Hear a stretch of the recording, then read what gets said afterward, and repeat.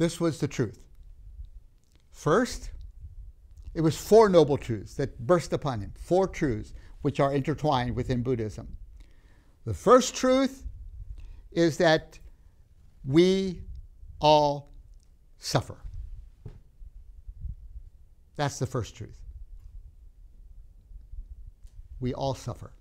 Suffer, we can never escape the reality that suffering is part of the human journey. We all suffer. Okay, point one. It's a four point sermon. What do you think the second point of the sermon was? The second point was that the reason we suffer is tanha. Wow. The reason we suffer is tanha. What does tanha mean? Tanha is wrong desire. Point one, we all suffer. Point two, the reason we suffer is wrong desire. Some time ago, I was out. I like to go jogging early in the morning, running regularly. I like to go out about 5:30 in the morning when I'm home. And uh, on one occasion, I neglected to inform my wife when I was going out to jog. I always tried to inform her. One, one day I neglected to do that. And when I got home, she was actually out in the woods and she was crying because uh, I had gone, she didn't know when I left, and I seemed to have been gone longer than I usually am. And she had this imagination that perhaps something had happened to me. I'd fallen over something there in the woods. And she was there in the wood's edge. She was crying. She was, I was so sorry that I caused her that dismay. Now, why was she suffering that way? Well, the Buddhists would say, because she loves you too much. You know, if she had right desire, neither loving me too much or too little, she'd say, well, Dave was a bit late today, and I don't know what happened to him, but what does it really matter? He might show up, might not show up. You know, that would be the right desire, right tanha.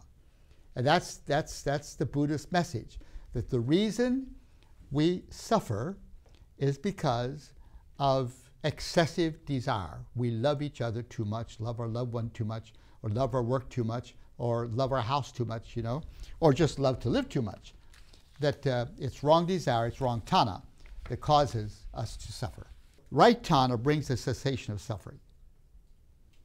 So then the challenge is this how will I acquire right desire? How can that happen? And there in that park, he was in a park, sitting under, under this bo tree, it came clear to him, just as clear as could be, that there's eight basic principles we need to follow in order to acquire right desire. So, what could those eight qualities be? Have you ever studied Buddhism? No. Okay, so this is your first course in Buddhism. Listen carefully. The eight principles which you need to follow to acquire right desire according to Buddhism. First, right belief. Secondly, right aspiration. Thirdly, right speech. Right speech. Watch your tongue. Fourth, right conduct. Number five, right livelihood.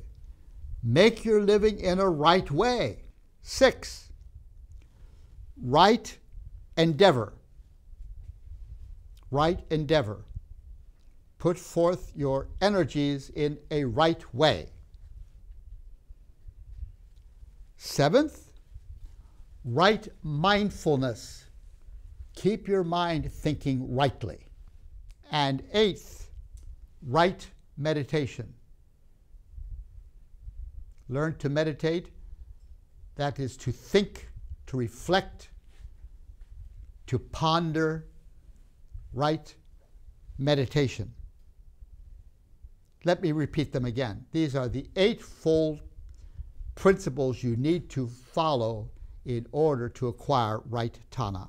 First, right belief, right aspiration, that means right goals, right speech, right conduct, right livelihood, right endeavor, right mindfulness, and right meditation. Buddha was so impressed by this reality that had burst upon his soul that he left the Bo tree and went to a nearby park, Benares Deer Park. It's where there is deer kept, Benares.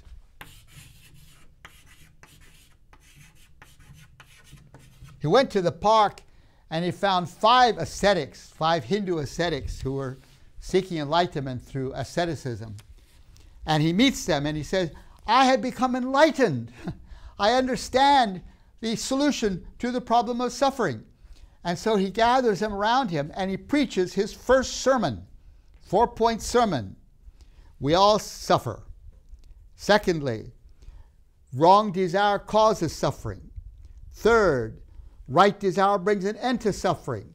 Therefore, to bring an end to suffering, we need to practice the Eightfold Path, which will give us the right desire, right belief, and right aspiration, and right speech, and right conduct, right livelihood, right endeavor, right mindfulness, and right meditation. That was his sermon. And all five of these monks were convinced. Oh, wow, this is simple. This is the way.